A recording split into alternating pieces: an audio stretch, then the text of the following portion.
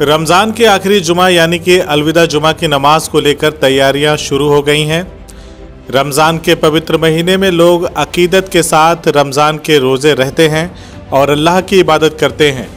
पूरे महीने में चार बार जुमा का दिन यानी कि शुक्रवार पड़ता है। पवित्र माह के आखिरी शुक्रवार को अलविदा जुमा की नमाज़ अदा की जाती है।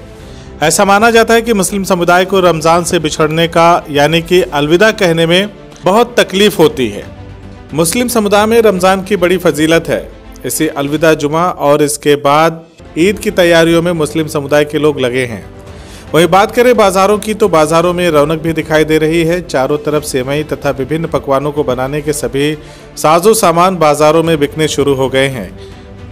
साथ ही दुकानों पर भीड़ भी बढ़नी शुरू हो गई है। इसी कड़ी में आजमगढ़ ज़िले के नगर पंचायत अतरौलिया में भी लोगों की तैयारियाँ जोरों पर हैं। नगर पंचायत निवासी शाकिर अली ने बताया कि ईद के पहले की अलविदा जुमा को लेकर मुस्लिम बंधुओं में काफ़ी उत्साह है, जिसके लिए सारी तैयारियाँ की जा रही हैं। कोरोना काल के बाद पहली बार इस तरह की छूट उत्तर प्रदेश सरकार ने दी है, जिससे लोगों के अंदर खुशी है और आपसी भाईचारे के साथ मिलजुल कर त्यौहार मनाने की तैयारी की जा रही है।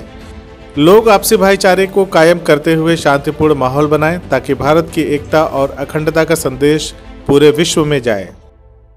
तैयारी है, मुस्लिम बंधुओं में उत्साह है, हम लोगों में उत्साह है। आखिरी जुमा है, ईद के पहले की। और उसमें हम लोग परिवार, समाज में तैयारी है।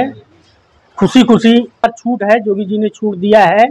वैसे हम लोग कोरोना के, को देखते हुए एहतियात बरत रहे हैं कि कोरोना का मतलब सम्मान वैसे जोगी जी ने और मोदी जी ने जो वैक्सीन लगवाया है, वो सुरक्षा कवच का काम करेगा हम लोगों को। सीआईबी इंडिया न्यूज़ की सभी खबरों को देखने के लिए लाल रंग की बटन को दबाकर चैनल को सब्सक्राइब ज़रूर करें। घंटी ज़रूर दबाएँ ताकि हमारी सभी खबरों के नोटिफिकेशन आप तक पहुँचते रहें।